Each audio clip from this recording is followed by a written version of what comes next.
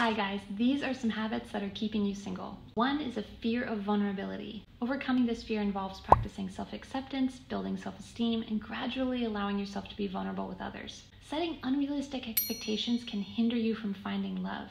Be open to different types of people and focus on building genuine connections. Low self confidence can affect your dating life. Be self confident, and this involves um, self care and recognizing your unique qualities and strengths. Fear of rejection is a common habit that keeps you single. Embrace the possibility of rejection as a stepping stone towards growth and finding the right connection. Holding on to past relationships or lingering emotional damage will keep you from moving forward. Engage in self reflection and seek closure to free yourself from your past. When dating apps are a useful tool, that's great, but you need to expand your social circle and increase the likelihood of meeting someone naturally as well.